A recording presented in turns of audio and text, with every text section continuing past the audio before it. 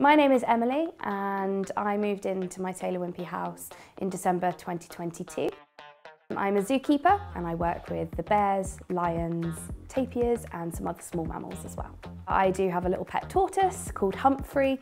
He is 58 years old. When I'm home, I do let him have free reign of the whole garden, but when I'm not home, he's just got his own little enclosure that he lives in.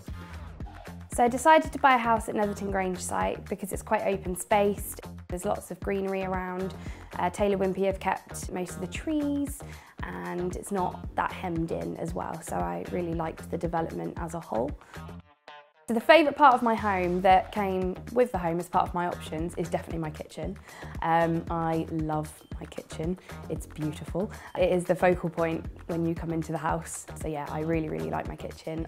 I also really like owning my own home because it means I can paint the walls however I want, I can decorate it however I want, and I don't need to worry about landlords coming in and saying, well, why have you done that?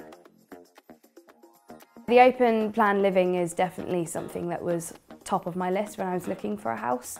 The fact that Taylor Wimpey offered a house with that all open space that's roomy as well was just amazing. I just fell in love with it when I saw it. I chose Taylor Wimpey um, because of the site itself. Uh, it is quite open, open and spacious between the properties themselves and also the layout of the house ticked more of the boxes that I was looking for. My dad is in the building industry. He has his own small building company and he's a qualified carpenter. So when he came down and had the chat with Taylor Wimpey as well and saw it was brick and block, he was really impressed with it, so it got his seal of approval. The sales team were absolutely amazing throughout the whole process. I am a first time buyer, so I had no idea what I was doing. It was all very alien world to me, but they would explain things to you in a proper manner and made you feel really at home and like the whole process was quite a breeze really.